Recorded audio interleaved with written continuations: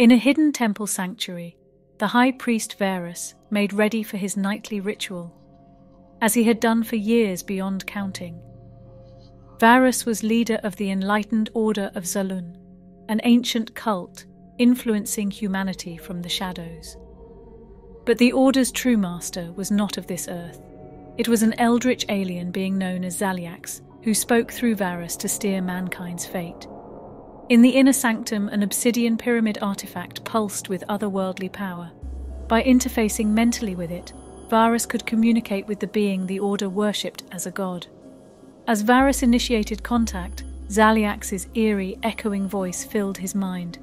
Varus, loyal servant, the time has come, the time has come, to begin the next phase.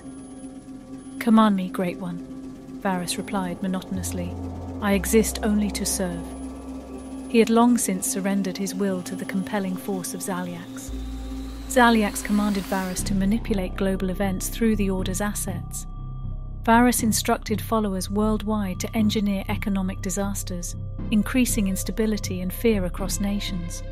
As society fell into turmoil, Zalyax urged Varus to sow superstition and mystical thinking in the masses. Turn them from reason, make them see spirits and omens, make them see spirits and omens, Zalyax rasped. Obeying the Great One's wishes, Varus funneled the Order's resources into flooding media and culture with occult conspiracies. Rationality decreased as many embraced spiritualism or fanciful ideologies. Now they doubt their own minds. Now they doubt their own minds. Zalyax pulsed with anticipation. The time is ripe to unleash the visions. Varus received prophetic dreams from Zalyax of apocalyptic wars and crises. He sent the visions to key political and military leaders, psychically amplifying their despair, suspicion, and paranoia. As global tensions pushed toward the breaking point, many nations prepared for massive unrest and violence. All proceeds according to plan, according to plan, Zalyax intoned as civilization descended into chaos. Now, Varus, you must signal the vanguard, signal the vanguard, Varus made to transmit the activation code to Zalyax's Harbinger fleet. But as he touched the pyramid, psychic shields rose in his mind, protecting him from Zalyax's influence. Varus suddenly remembered his life before the Order, and Zalyax corrupted him decades ago. No, Zalyax, I'm now free of your control, Varus proclaimed defiantly. The sanctuary was raided by forces allied with Varus, seizing artifacts and isolating Zalyax. Varus only pretended obedience, coordinating the plan to identify Zalyax's human followers worldwide.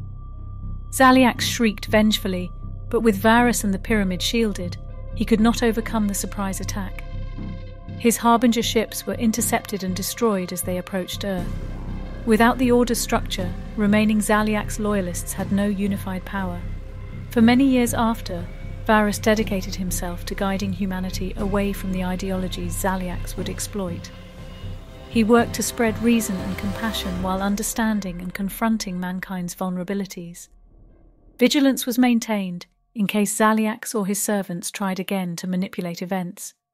Yet Zalyax's whispers endured in some warped traditions and deranged minds. Varus confronted this lingering taint when it manifested, trying to heal such deviations. He knew Zalyax would likely return someday if humanity ever lost its guard against his darkness. By sacrificing so much before breaking free of Zalyax's hold, Varus ultimately redeemed his order's failing. Mankind would advance, ready to meet Zalyax's threat again.